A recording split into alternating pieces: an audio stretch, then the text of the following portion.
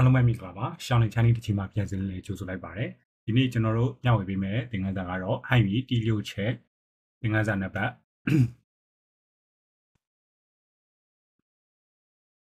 17ပဲဖြစ်ပါတယ်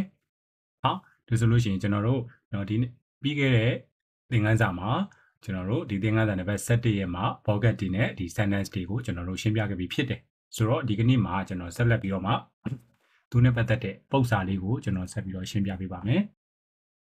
အားလုံးပဲအခုသင်ခန်းစာတွေကို live ပြီးလုပ်ဖြစ်တယ်ပေါ့เนาะဒီဗီဒီယိုသင်ခန်းစာတွေကကိုယ့်အတွက်လည်းအကျိုးရှိမယ်ဆိုလို့ရှိရင် comment မှာ feedback လေးတွေပြန်ပေးဖို့ပြောချင်ပါတယ်နောက်တစ်ခုအာနောက်ထပ်နောက်ထပ်ဗီဒီယိုတွေအတွက် subscribe လုပ်ထားဖို့လည်းမမိပါနဲ့好那就我们开始吧ဒါဆိုကျွန်တော်တို့စရအောင်เนาะ好来课文ခေါင်းစဉ်ကပါလဲဆိုတော့我把房间装满了来等一下从前我အရင်တော့ငါတဲ့ ဤဝေလောင်ရှိအာဆရာတူရှိတယ်ပုံထဲမှာတော့ဆရာမတွေပေါ့နော်အာဆရာမတူရှိတယ်ခရီးဒီလိုပြောလည်းပဲရတယ်နော်ဒီရွှေစိမ့်မှန်ဒီရွှေစိမ့်မှန်ဆိုတော့ចောင်းသားတွေကိုလို့ပြောချင်တာချူးလော်ရီတောက်ထီချူးလော်ရီတောက်ထီထီဆိုတာမေခွန်းတစ်ခုမှာ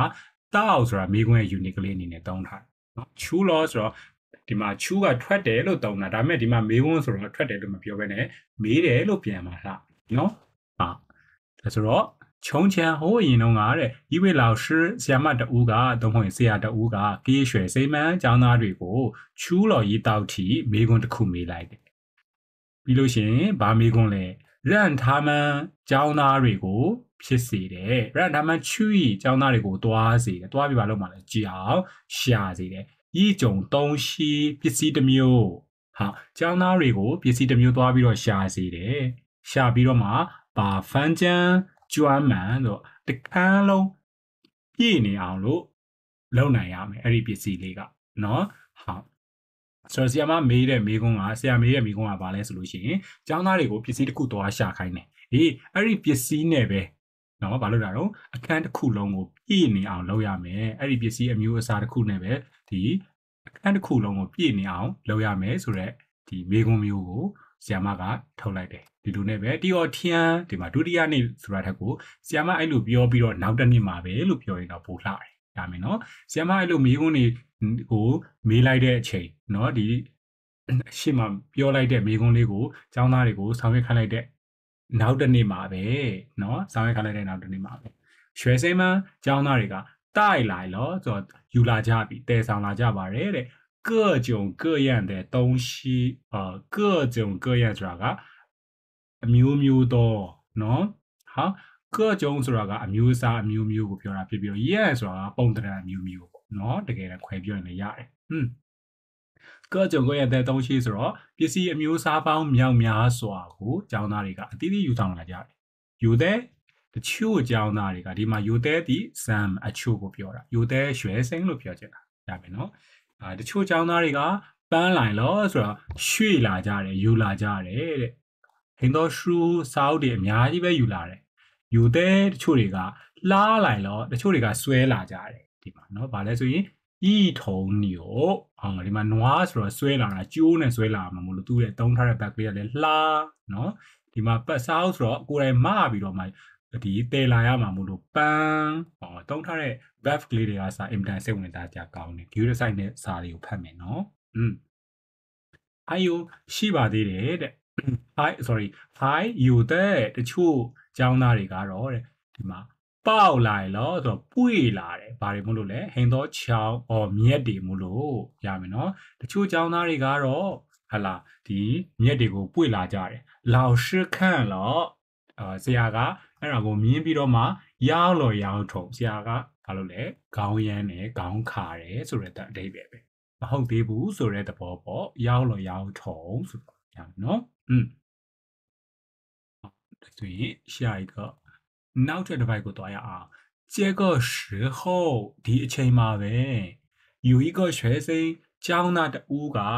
နာလိုက်ဆိုယူလာတယ်ဒီမှာเนาะ buff ကလေးတွေကို view site မယ်။ဟာလေ ပန်းလိုက်နော်လှားလိုက်ပေါက်လိုက်ဒီမှာနာလိုက်อืม好နာလိုက်နဲ့ယူလာပါတယ်一只一只ဆိုတော့ဒီမှာတစ်ချောင်း unit ကလေးတွေကြည့်မယ်နော်ဘာတစ်ချောင်းလဲဆိုလို့ရှိရင်ဟုံလာကျူအာလာကျူကကျွန်တော်တို့ pocket ထဲမှာပါတယ်ဖျောင်းတိုင်းဖျောင်းနိုင်ကိုမှဘယ်လိုဖျောင်းနိုင်လဲအနီအောင်ကျွန်တော်တို့ငငယ်တုန်းကဆိုလို့ရှိရင် ရေနံစီဖျောင်းတိုင်းတို့ဘာတို့အစာရည်တစ်ဖြစ်ပေါ့ဟာလားအမျိုးမျိုးဟိုဗာလဲလာမင်းဖျောင်းတိုင်းတို့အဖြူတွေအဝါးတွေအနီတွေအယောင်ဆုံးအကုန်ရှိရနော်อืมဒီမှာလည်းပဲဒီလိုပဲသူကဟုံလာကျုဆိုတော့အနီရောင်ဖျောင်းတိုင်းတစ်တိုင်းကိုယူလာတယ်တဲ့ပြီးတော့ထားသူကဆိုလို့ရှိရင်ကျန်ရန်လလာကျူအဲ့ဒီဖျောင်းတိုင်းကိုဘာလုပ်လိုက်လဲဒီမှာမီးညှိလိုက်တယ်လို့ပြောမယ်မီးညှိတာကိုဒီရန်လို့သုံးတယ် ဖျောင်းတိုင်းကိုမီးညှိလိုက်တယ်လာကျူနော်ဖျောင်းနိုင်ကိုမင်းကြီးလိုက်တယ်ဒီမှာဗာလဲဆိုလို့ရှိရင်ဒီမှာကျူကွမ်းအော်ဖျောင်းနိုင်ရဲ့အလင်းရောင်နော်ကျူကွမ်းဖျောင်းနိုင်ရဲ့အလင်းရောင်ကတဲ့လိခချက်ချင်းဆိုတလို့ပဲအဲ့တော့မင်းကြီးလိုက်တာနဲ့ဘာဖြစ်မှာအလင်းရောင်တွေကဘာလို့မလို့ဖြာထွက်အောင်ပါပေါ့လိခချက်ချင်းဆိုတလို့ပဲတဲ့ပါဆိုတော့ကိုကျင်ကော့ဖန်ကျန်းအော်အခန်းတစ်ခုလုံးကိုတဲ့ နော်အခန်းတစ်ခုလုံးကိုကြောက်လန့်တော့အေးဘာလို့တာတော့လင်းလက်သွားအောင်ကိုထွန်းပေးနိုင်တယ်အလင်းရောင်တွေကိုဖျားထွက်ပြီးတော့မှလုံးဝကိုတောက်ပသွားအောင်လုပ်လိုက်နိုင်တယ်လို့ပြောတာอืม老师ဒီချိန်မှာပဲဆရာက满意的笑လို့အေးအင်တမစိတ်ထဲမှာကြည်နပ်ပြီးတော့မှပြုံးနေပေါ့ဒါတင်မလားဆိုတော့မဟုတ်ဘူးပြီးတော့သူကရှောပြောလိုက်သေးတယ်နော်只有他 သူသာလျင်ရှိပါတယ်တဲ့ပါဖန်ကျန်းအခန်းတစ်ခုလုံးကိုကျွမ်းမှန်တော့တဲ့ပြည့်အောင်ဖြည့်နိုင်တာဆိုလို့သူပဲရှိတယ်လို့ပြောတာဒီမှာစာအုပ်တွေနဲ့ပြည့်အောင်ဖြည့်မယ်ဆိုရင်လည်းပဲမဟုတ်သေးဘူးကျွန်တော်တို့စာအုပ်တွေကတအုံလုံးနဲ့ပြည့်သွားမှာမဟုတ်ဘူးနွားဆိုရင်လည်းပဲအခန်းတစ်ခုတစ်ကောင်နဲ့နဲ့တော့အခန်းတစ်ခုလုံးပြည့်မှာမဟုတ်ဘူးအော်မြက်တွေဆိုရင်လည်းပဲဒီလိုပဲတပွေးတစ်ပိုင်းနဲ့တော့ပြည့်နိုင်မှာမဟုတ်ဘူးဒါပေမဲ့ဖျောင်းနိုင်တဒိုင်ရဲ့ အလင်းကဘာဖြစ်ပြီးသွားလဲဆိုရင်အခန်းတစ်ခုလုံးကိုကျွန်တော်တို့ထွန်းလင်းသွားအောင်လုပ်ပြနိုင်တယ်။ဟုတ်ဒီပုံမြင်လေးရဲ့ရည်ရွယ်ချက်ကတော့ဒါကျွန်တော်အမြင်အရပြောရမယ်ဆိုရင်တော့ဒီလူတွေမှာဆိုလို့ရှိရင်လည်းပဲဒီအလင်းရောင်နဲ့တူသောလူတွေဆိုလို့ရှိရင်ဘာလုပ်မလဲလောကကိုအလင်းပေးတယောက်တည်းပြင်ဖြစ်လင်ကစားနော်သူ့ပတ်ဝန်းကျင်အဲကိုတော့ဘာလုပ်မလဲအလင်းရောင်ပေးနိုင်လိမ့်မယ်ပေါ့ဒါကြောင့်မလို့ကျွန်တော်တို့ကနော်ရောင်းနိုင်တဲ့တူတဲ့လူတွေဖြစ်အောင်ကိုယ့်ရဲ့ပတ်ဝန်းကျင်ကိုပို့ပြီးတော့မှ နော်ကောင်းမွန်လာအောင်တောက်ပလာအောင်လုပ်ပေးနိုင်တဲ့သူတွေဖြစ်ကြပါစေဖြစ်ကြဖို့လည်းကြိုးစားရမယ်ဒါလေးကိုပြောတာဟုတ် Okay ကဲဒါဆိုလို့ရှိရင်ဒီမှာဇလန်လေးကတော့တူတူလေးပဲဘာမှတိတ်ခက်ခက်ခက်ခက်လည်းမရှိဘူးတော့ပြီးတော့ညာအကုန်လုံးထဲမှာမှာအကြိုက်ဆုံးဝါကြတဲ့အကြောင်းကိုထုတ်ပါဆိုလို့ရှိရင်တော့ဒီအကြောင်းလေးပဲเนาะကျွန်တော်တို့ကတော့ဘာကြောင့်လဲပါကြည့်ကြည့်ကြည့်မယ်နော် ကျင်ကောဖန်ချန်းဆိုတာအခန်းတစ်ခုလုံးကိုကြောက်လျံတော့ထွန်းလေးပလိုက်တယ်ဘယ်သူကကြောက်လျံပေးတာလဲလာကျူလာကျူနော်ဒီမှာ sorry လာကျူတဲ့ကွမ်ဒီလိုပြောရမယ်ရမယ်နော်လာကျူတဲ့ကွမ်ဟောဒီမှာဗာလဲဆိုရင်ကျူကွမ်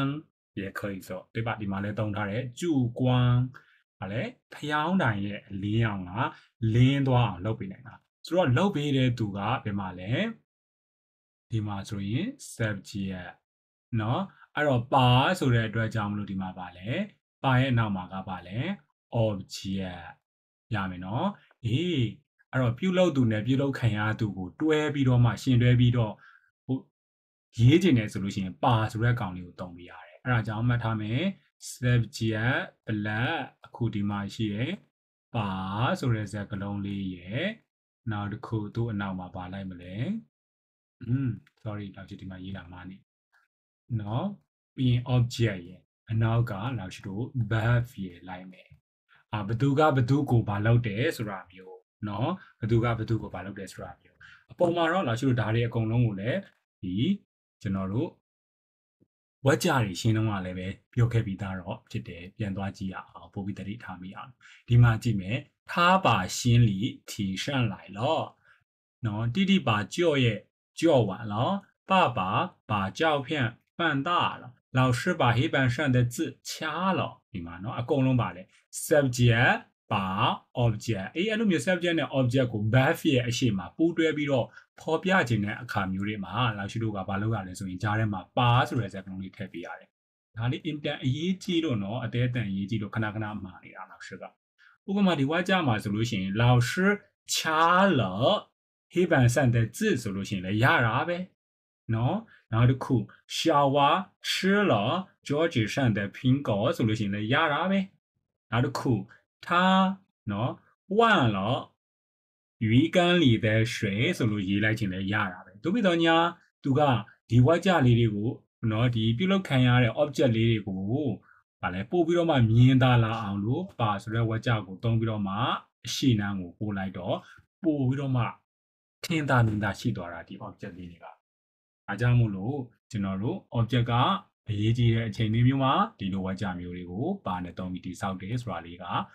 အနှစ်သာရပဲဒီအခန်း7ရဲ့အနှစ်သာရပဲ။ဒါကြောင့်ဒါလေးကိုမမေ့နဲ့နော်။ဟုတ်ဒါဆိုတော့ရှစ်သူနီမန်တီနောက်ရှစ်ဖက်မယ်ကျောင်းသားတွေလာထောင်းတစ်ခေါက်ဆိုတစ်ခေါက်ရတော့လို့ဒီမှာအပီးနားထောင်းမယ်ပြီးလိုက်ရမယ်နော်။ဟာ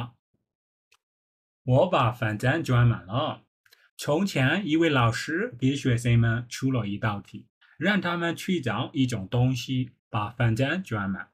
第二天学生们带来了各种各样的东西有的搬来了很多书，有的拉来了一头牛，还有还有的抱来了很多桥。老师看了摇了摇头。这时候有一个学生拿来一支红蜡烛，他点燃了蜡烛，烛光立刻把整个房间照亮了。老师没得笑了，说：只有他把房间装满了。哦，ဒီမှာလည်းပဲပါ字句နော်သူကအခန်းတစ်ခုလုံးကိုပြည့်အောင်ဖြည့်ပြတိုင်းနော်ဟာနောက်တစ်ခုဒီမှာ只有ဆိုတာကပါလဲဆိုရင်နောက်ကြည့်လို့ဒါလေးရှိတယ်သူတယောက်တည်းပဲ တခြားသူတွေမလုံနိုင်ဘူးဆိုတဲ့သဘောနော်အေးကြေးကိုထားကြေးကိုဖြင်းကောပန်းဒီပဲရှိတယ်ဒီပါအာကြေးကိုရေးပိုင်ခွိုက်ချင်ပိဿံတရားပဲရှိတယ်နောက်ထပ်မရှိတော့ဒါဟုတ်ပြောတာနော်อืมဒီလိုမျိုးတွေပေါ့ဟာဟာကဲဒါဆိုရင်တော့ကျောင်းသားတွေဒီအခန်း7တင်နဲ့ပတ်သက်ပြီးတော့အားလုံးနားလည်ပြီလို့ထင်ပါတယ်ဒါဆိုရင်နောက်ရှိတော့နောက်ထပ်သင်ခန်းစာအခန်း7တွေကို record လုပ်ပြီးတဲ့အချိန်မှာပြန်ပြီးတွေ့ကြမယ်โอเคဒါဆိုရင် သဘောကျတယ်ကိုယ့်အတွက်လည်းအထောက်အကူဖြစ်တယ်ဆိုလို့ရှိရင်တော့အားပေးစကားလေးပြောခဲ့ပါ comment မှာ feedback လေးတစ်ခုခုပေါ့ okay ဆိုတော့ next video မှာပြန်တွေ့ပါမယ်ကြိုက်ကြ